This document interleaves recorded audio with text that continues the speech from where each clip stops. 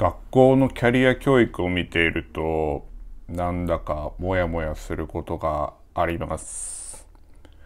のぼです、えー地域のですね中学校や高校とですねあのまあつながりを持つことができていて、えーしばしばですね総合学習のまあ見学に行ったり、まあ、あるいはえー実際に自分たちが講師としてあの登壇させてもらったりですね、まあ、そんな風に、えーまあ、地域おこし協力隊として着任した当初から関わりをね持たせてもらっているんですけれども。で先週ですね結構あの学校に行く機会が多くありましてあまあ今月に入ってからか。7月のですね第1週目には中学校に職業講話見に行ってで第2週先週ですね。第2週は、えー高校の方にですねそれも職業講話であったりまあまた別にね探究学習の見学に行ったんですけれどもね。いやーなかなかまああのまあすなわち中学校と高校の職業講話を見に行ったんです。どっちも1年生だったか対象は、うん、中1と高1のね職業講話だったんですけれどもあ違う中学校は2年生もいたのか。12年生か。で高校は1年生だったんですけれどもね。であの地域で働くね職業を持った方というか 働いてる方大人がねあの何名か教室というか学校に訪れて、うん、でねあの生徒たちはあのその希望に沿って、えージャンルに沿ってですね希望のジャンルに沿ってこう見学するみたいな職業講話聞くみたいな形ではねあったんです。うん、でまず前提としてあの、まあ、先生が用意すると思うんでねその総合学習とかキャリア教育の先生がね担当でいてその先生が、えーねあの講師を連れてくるセレクトするとオファーを出すと。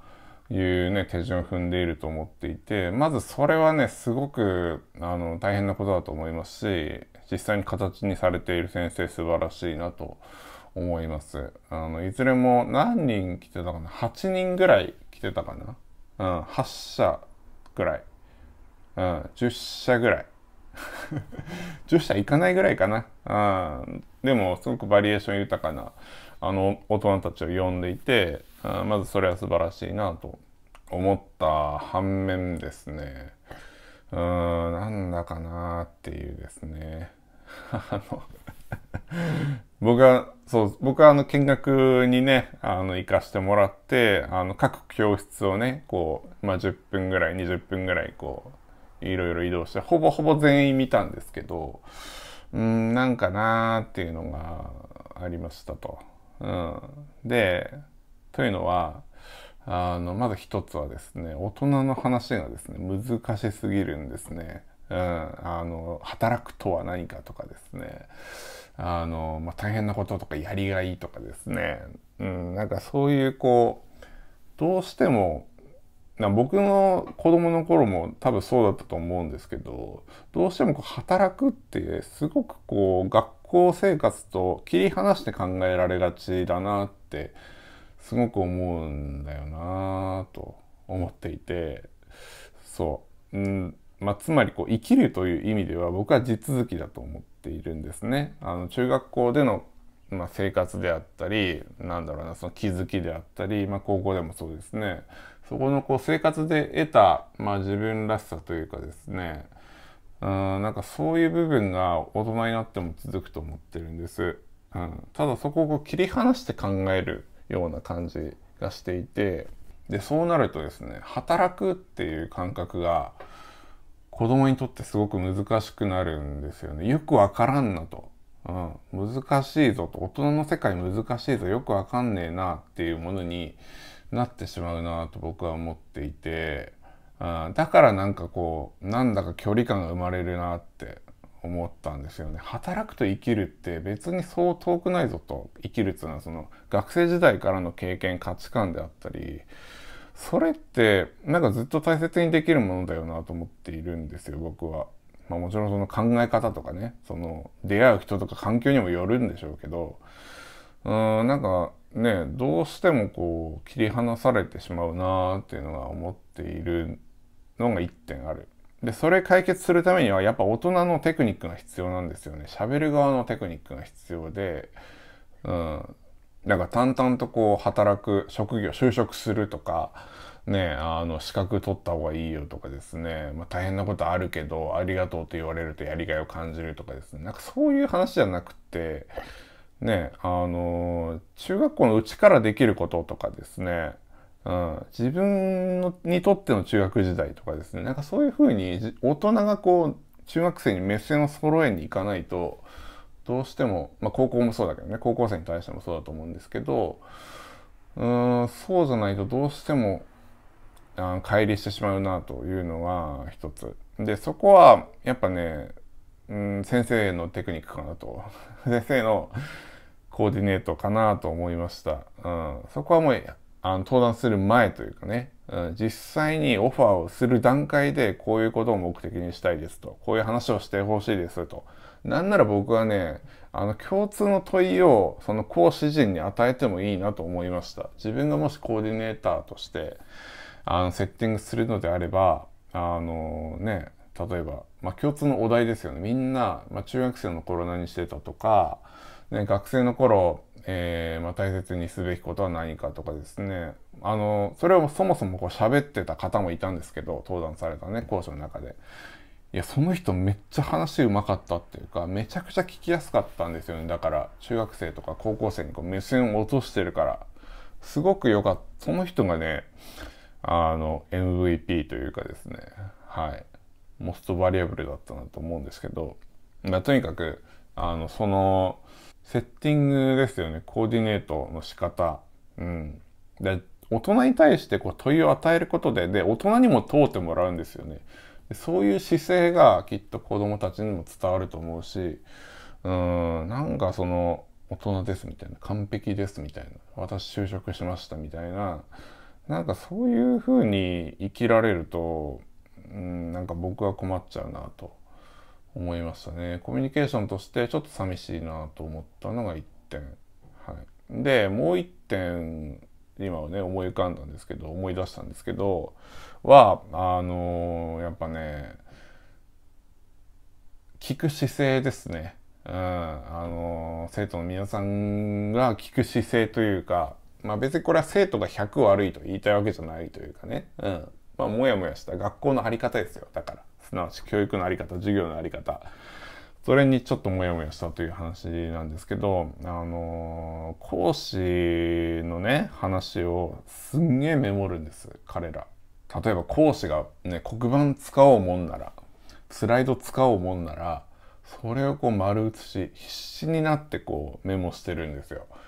で、一見ね、その姿見てると、僕はね、後ろから見てたんですけど、その姿見てると、おおやってんなと。ね、やってる感出るんですよ、すげえ。うん。ただね、その、結局そのノートとか、うん、なんだろう、ね、写すこと、書くことって、結局ツールというかですね、方法なんですよね。うん、でその学びを深めたりとか自分で考えたりするためのものなんですけどそのね書くことがね目的になるんですよね彼ら。うん、だからすごくそれはもったいないというか、まあ、つまりどうして欲しかったかっていうと、うん、どうして欲しかったかというとあのね講師の話を聞いて自分ならどう思うかとかですね。いや俺はそうは思わないけどなとかいや興味ねえなこの人の話とかですね。そういうあり方がすごく理想だなと自分は思いました。うん、であのねこれはね高校に見られたことなんですけど質問コーナーね、講師の話を受けて、で、質問するという段階をね、踏んでいたわけですけれども、質問をね、事前に用意するんですよ。うん。で、事前に用意したものが、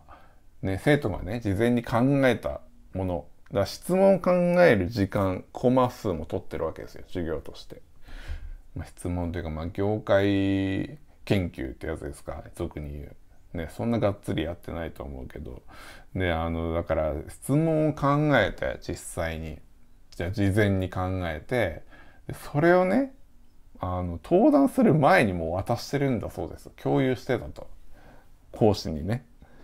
うん、議会みたいなことやってて。でその当日です。ね職業講話当日もそのね一応こう講師の話終わりました。質問ある人いませんか？でその事前に渡してた質問をただ言うみたいな。うん。だ何喋ろうが関係ないなっていう話なんですよね。当日講師がさ。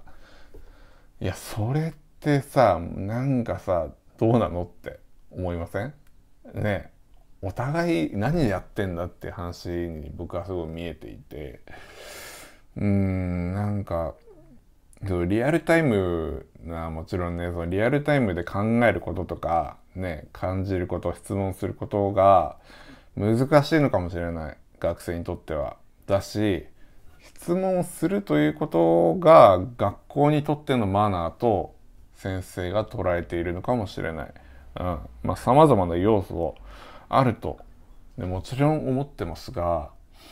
うんなんかそのもったいねえ時間だなと思いました僕は単純に。うん、まあつまりねその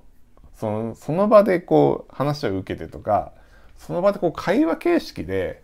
進んでいくことですよね。なんかそこにこう質問が自然と生まれたりとか、ね、問いが生まれたりね、逆にこう講師から投げかけがあったりだとか、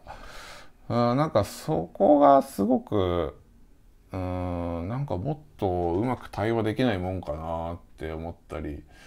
したんですよね。うん、だからあり方というかね、その会場のあり方もすごく僕は気になって、うん、あの、普通の授業のように、先生講師の方がね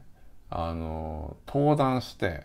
でまあ学生の皆さんは普通に座って聞くみたいなあの形ではあったんですけど例えばそれをねあの車座になってみんな向かい合ってこう丸になってね円になってか座ったらちょっと変わんのかなとかさあなんかさ普通の授業みたいになっちゃってなんならそのなん、うん、質問質問を考えることとかね質問ってやっぱあと興味の中から生まれるものだと思うんですよ。えこれってどうなってんのって、うん、これ僕はこう考えるんですけどあなたはどう思いますかとか、まあ、質問力なんて言葉もありますけどそこのこう興味の持ち方ですよね、うん、興味をやっぱ大事にできないもんかなと思っていましたね。まあ外野から見ての一意見なので、実際ね、現場に立ってる先生方とか、まあ学生の皆さん、どう感じてるか僕は一切わかりませんけれども、うん、なんかもっとうまくなコミュニケーション作れなかったかな僕だったらどうしたかなってそうですね、うん、あくまでねそうあのその場をセッティングしている先生方には敬意を払いながらいや、僕だったらどうするかなというのをですね、そんなことを思いながら見させていただきました。ということで、お帰りの方でございますけれども、現在7月16日火曜日、えー、朝の10時でございます。はい。えー、3連休、昨日まで3連休だったんですけれども、おとといね、日曜日出勤、PR イベントに出たことで、えー、本日火曜日はですね、振り替え休日をいただいております。はい。まあね、最近ちょっとこう、いろいろ思うことがあって、まあね、ノートとかにも毎日書いてるんですけど、ね、えー、ちょっとその問いの1秒ですね、今日も、今日はこれからね、また一つお送りできたらなと思いますので、どうぞよろしくお願いいたします。それでは、スタートです。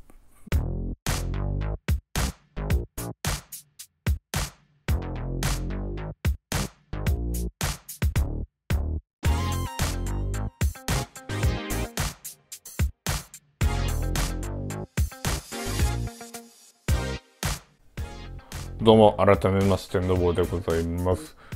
えー、僕は2022年4月より、えー、地元のね、宮城県美里町に地域おこし協力隊として U ターンしてまいりました。えー、この番組ではですね、そんな地域おこし協力隊のこと、えー、地域のこと、移住のこと、活動のことなどなどをですねヘラヘラベラベラと話しておりますということでえー、で学校にね行かせていただいててすごくねありがたいなと思ってはいるんですけれどもあのねよりこう良い形をですねあの先生方と一緒に作っていけたらなとは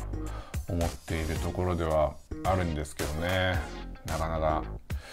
ね従来の教育の中でやっていくというのはですねそんな簡単なことではないのかなと 思ったりもしますけれどもさあ今回はですね、まあ、もう一点。またねあの高校の授業を見学しに行った話なんですけれどもえー、っとね、まあ、総合的な探究の時間探究の学習かな、うん、総合学習のですね見学にも行ってまいりました先週かな、はい、行ってきたんですけれども。あの、まあ、高校のね探究学習でございまして最近よく言うじゃないですか。探究の授業。探究学習が大事だと。ねあの、まあ、自ら問いを見出してえー、そして答えを探求していくと、ね、その教育が大事だということでねよく言われてるかなと思うんですけれどもそのねあの探究学習の中間発表に発表会校内で行われた中間発表会に見学に行ってまいりました。ね、あの年度通して活動していくそれぞれね生徒がこう自分でこうテーマを決めてね、そのテーマに沿ってこう探求していく実際にこうアクションを動かしたりだとか、ね、アンケートを取ったりとか地域で活動したりとかですねそういうふうにするイメージの、えー、探究学習なんですけれどもその中間発表に中間発表を見学してまいりましたと。でねまあこれまたですねちょっとこうモヤモヤしたというかですね よくモヤモヤしてんなと思いながらだったんですけれどもなかなかねやっぱ探究学習って大変だなというですね。またそんな気づきも得たんですけれどもあのまあ高校の探究学習行ったんですけれども、まあ、一つの学年であの何人かな3人から6人ぐらいの、まあ、その授業というかその探究のためのチームを組んでまあ、それぞれね個人個人こうなんつうの興味関心があるジャンルが違いますからそのねテーマに合わせてジャンルに合わせてチームを組んでみんなでこう探求していくとテーマを決めて探求していくっていうですねそんな形だったんですけれどもなかなかねその探求ってやっぱね簡単じゃないんだなっていう話ですね。はいあのテーマの、ね、設定の仕方が例えばすごい大きい社会課題だったりするんですよ。不登校とは。不登校の、不登校の対策とかね。あとはこう SNS の誹謗中傷とか、ね、子育て世代。どうやったら子供を育てやすくなるのかとかね。社会として。だからすごく大きな社会課題を取り上げて。であのウェブでね iPad でこう検索したしてこう調べたような内容をまとめてるんですよね。うん、調べ学習に終始しているという話でございまして、うんまあ、まず一つ調べ学習も大事な要素なんだろうなというのも認めながらですねなんかもっと探求してほしいなってですねこれまた外野の一人として僕は思うわけですね。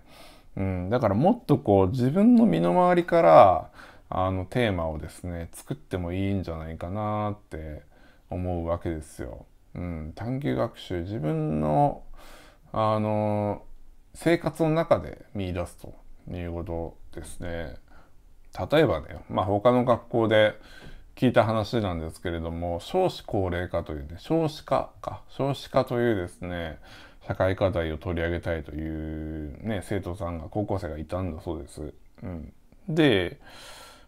とあるコーディネーターが「ね、君とところでさ」と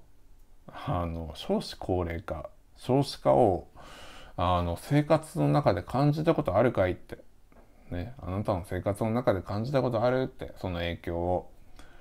でトータルですね。うんとどうかなと。ちょっとねこう考えたところそうだと。うちの地域の子ども祭りがねなくなりましたと。イベントがなくなりました。っていう話になってあじゃあそれが君にとっての少子化だねっていうですねあの話になるわけですよ。まあ、つまりその社会課題を自分でこう定義し直せるっていうかですね自分にとっての、まあ、誹謗中傷 SNS 誹謗中傷であったり自分にとっての不登校の改善であったりですね。その自分で定義づけるっていうのが一つ探究学習のポイントかなと僕は思っているんですよね。うん、でそれをないがしろにするとあの本当にこうウェブ検索で終わってしまうっていう。うん、ないがしろにするとただまとめるだけ。なんかこう体重が乗り切ってない。説得力のない、えー、まあ多分やってる側もそんな楽しくないと思うんですよね何より、うん、だからそういうですねもっとこう自分の身の回りの、えー、ところから着想してねテーマを決めたり課題決めたりしていいいいのになーって僕はすごく思っていたんです見ながらね。で何が足りてないのかなって思うとですねあのね自己理解だなって思ったんですよね。うん、ねまあ結構僕探究学習のあの発表とか見に行ったり町外にしていてあなんかおもろいなとかおもろくないなみたいななんかこうなんとなくこう物差しがあるんですけれどもおもろい発表ってその人が何者かが分かるんですよね。うん、その人が何者でどういう生活を送ってきてどういうストーリーがあってだからこう思いましたって。そのテーマをこう出すところからこうもうおもろいっていうか説得力があるっていうか、まあ、その町僕は、まあ、気仙沼っていうねあの宮城県内のあの町がね一つ例としてあさっきのあのね少子化の話も気仙沼の人の話だったんですけど気仙沼のね探究学習すごく面白くて、ね、年度末見に行ったその発表のね様子を見に行ったりもしたんですけどあのそれをねあの思ったんですよね。面白いというか体重乗る探究学習ってやっぱ自分がねこれまでどんな生活を送ってきてどんな例えば家族がどんな人でねどんな環境でで何を嬉しいと思って何を楽しくないと思ってねみたいなそういうこう自己理解があってでテーマがあるんですよねきっと。でってなると自分の中自分の定義がしっかり確立できるんだなっていうですねそれこそ僕自身の問いの中でなんとなくこう見つかってきていて、うん、自己理解だなって思ったんです。でね。まあここまではねここまではい。OK 自己理解が必要だなって僕は思った。ただそれを学校の中でやろうとするといやーどうかなと。ね。つまり先生の数が足りないし先生の技術も足りないかもしれない、ね、ファシリテートというか、ね、対話する技術も必要だし。うん。ね一人一人のこう人生がね極端に言うと一人一人の人生と向き合うわけですから向き合ったりこう引き出したりしなきゃいけないからね。あとはその多様なストーリーね人生のストーリーを受け入れる環境も必要だなと思うんですよね。生徒にも必要だしねそれは先生に限らず。まあいわゆる多様性ってやつですか？あなんかそこがねそこがないとだって自分のストーリー話せないから。うん。話してでやっとテーマ決めましょうって僕の中で僕のイメージね勝手なイメージですけどそういう段階を踏むイメージそういうものを見たいから僕はね。ただ個人的に見たいっていうだけかもしれないな。どうかな。いやでもきっといい研究になると思うんだよね。いい探究になると思うんだよな。この順序踏めば。自己理解をすれば。停電しまあ信じてはいるんですけどまあねただその今の学校教育では学校環境では。いやーなかなか難しいのかななんてですね思ったりもしていて。うんまあここまでですねとりあえず。今後だから例えばコーディネーターとして自分が入るかとかね授業にね関わらせてもらえるかとかあなんかこうおもね面白い大人をこう引っ張ってこれないかなとかですね。その時こう予算どうするとかですね。ね財源確保できるかとかですね。うんなんかまあいろんな問いが生まれてくるわけですけれども、まあ、とりあえずですねそんなところですね。うんなんかでも面白い問いだなと思って自分もねワクワクができているので今後ねあのまあ、教育に関わる機会があの増えて増えているとか用意されていると僕は思っているので、まあ、そうなる予定ではあるのでうーん、まあ、探究学習にですね必要なことをしっかりね自分の中でも、まあ、それこそ自分で問うてですねあの、まあ、物差し作っていきながらノウハウもですね見出していきながらまあなるべく現場に立たせてもらえたらいいななんて思ってはいるんですけどそのあたりですねあの今後も地域の学校とですね関わらせてもらう中であの考えていけたらなと思っているそんな今日この頃でございます。はい。ずっとね教育の話になってますけど。いや最近そう教育現場見たりとかですね教育のね今後にこう携わる話が来ているので、うん、まああと自分自身がそれこそあの過去ね生き方っていう言葉概念を知らずに大人になったっていう経緯もあってそういう意味ですごく興味があるんですよね。人の成り立ちとかですね。ね教育の在り方。地域との関わり方なんかもそうですかね。すごく興味がある分野なのでうんまあここはね前のめりにそれこそ僕は学び問いを深めていけるんじゃないかなと今ね思っているところで、ねまあ、その探求の内容なんかをですね、まあ、このラジオであったりねあの、まあ、ノート毎日書いてるノートとかで共有できたらなと思っておりますのではい。そんな感じで今日は以上とさせてください。はいそんなところでございます。ということで、えー、今回は以上でございます。はい。最後までお聴きいただきどうもありがとうございます。また次回お会いしましょう。さようなら。